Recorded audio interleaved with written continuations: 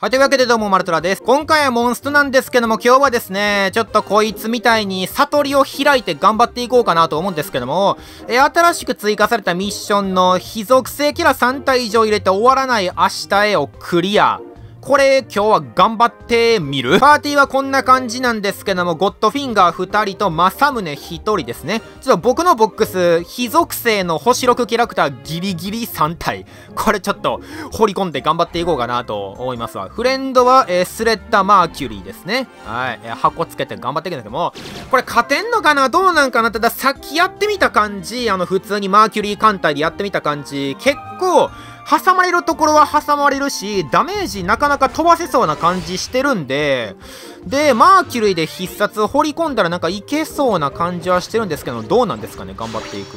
えー、ここに関しては普通に、えー、薄くやっていって、あ、めっちゃ入るやん。ほんで、政宗の友情も結構強い。ここ友情技で割かし削れるわパターンですか？割かし。じゃあこれは普通にこんな感じで掘り込んでいきまして。はい。いいね。はいはいはいはい。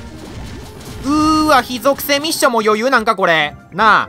やっぱりどのコラボも第1弾超究極は弱いんかな。前のシャンフロのリュカオンみたいに。リュカオンもマジであいつクソ雑魚ワンちゃんやったんで、じゃあ今回もただのガラクタとなってるんじゃないかなと思うんですけども、いけ。ポチョンはい。素晴らしい。さすが神の指。神の指って何？ご、あの、神の手とかやったらわかんねんけど、お医者さんとかで。神の指。それは何？裁縫の世界でしか聞かへんねんけど、神の指って。絶対に、その、糸に紐通せるみたいな。えー、っと、マーキュリーがいますんでね、別に何の心配もないと思うんで、ここって入れんのかな？はいなんかねあの結構ね挟まれるところめっちゃあんねんな。今ガのダンジョン。だからククーンっていうあれ気持ちいいですよね。どの時代のモンストも。あのククーンってやつ気持ちいいですよね。これは普通にこういってえー、下で切り替えましょうかね。素晴らしい。うんポチョン。ほんでもってもう一回。ポチョーン。死体蹴り決まっていきました。気持ちいい状況で。ほんで政宗の必殺技も結構入んのかな？えー、っと転送壁全員素浴びか？あ転送全員素浴びか。でここは、えー、ワープと、えー、ボスの間に挟まりたいんですけども。これちょっと角度悪いんで適当に暴れ回って挟まれたらいいかなっていう運ゲー望んでいくパターンにしましょうかね。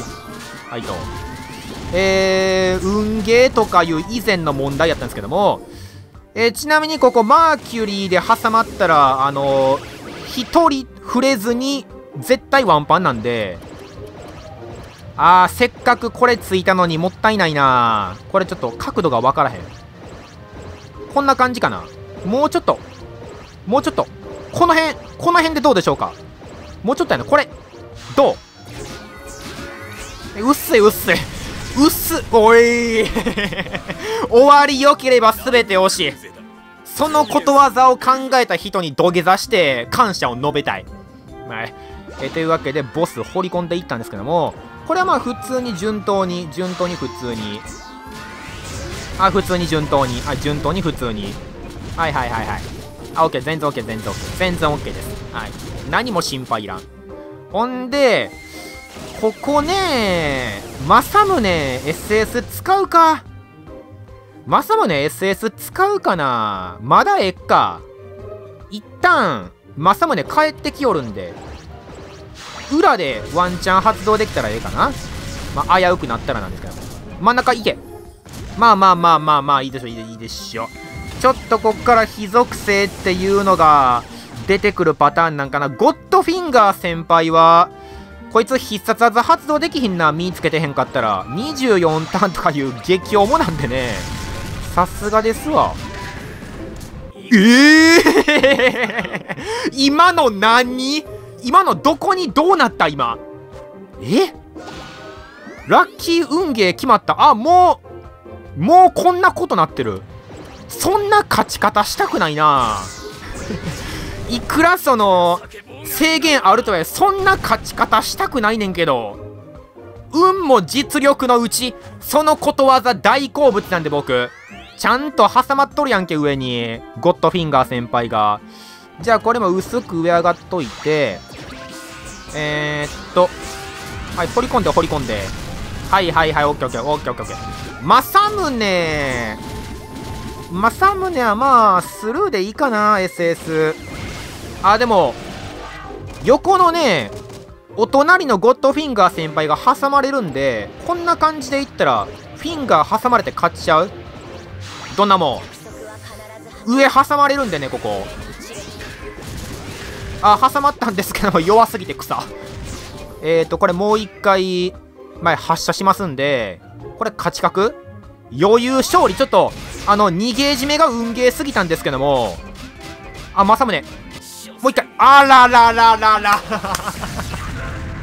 これはちょっと強すぎたな。うん。あの、逃げ締めが運ゲーにも程があったわ。ありがたき幸せ。まあ、シュレッダ・マーキュリーの必殺技発動したら絶対に勝ってたかな。はい。というわけで、運曲作り頑張りますわ。